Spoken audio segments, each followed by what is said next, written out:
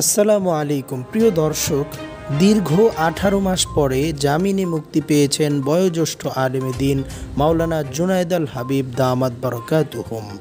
বয়োজ্যেষ্ঠ শীর্ষ আলেম মাওলানা জুনায়দ আল হাবিব শারীরিকভাবে খুবই অসুস্থ। সুস্থতার জন্য দেশবাসীর কাছে বিশেষভাবে তিনি দোয়া চেয়েছেন। প্রিয় দর্শক, মাওলানা জুনায়দ আল হাবিব গত সতেরোই এপ্রিল দু হাজার একুশ শনিবার গ্রেফতার হয়ে দুই অক্টোবর দুই হাজার বাইশ রবিবার জামিন লাভ করেন। এর মাঝের সময়টা তিনি কারাগারেই ছিলেন। প্রিয় দর্শক, আপনারা অনেকেই জানেন, আরও উল্লেখযোগ্য অনেক ওলামাই কেরামরা ইতোমধ্যেই জেলে তারা আছেন।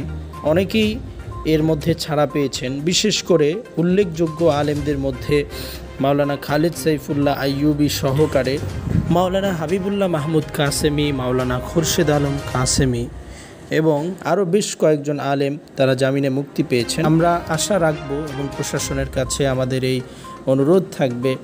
বড় বড় ওলামাই কেরাম যারা এখনও কারাগারে বন্দী আছেন অনতিবিলম্বে তাদেরকেও মুক্তির ব্যবস্থা করে দেয়া হোক। মাওলানা জুনায়দ আল হাবিবের মুক্তির সংবাদটি আপনারা যারা এখনই পেলেন অনতিবিলম্বে এই নিউজটি আপনারা শেয়ার করে সকলকে জানার সুযোগ করে দিন।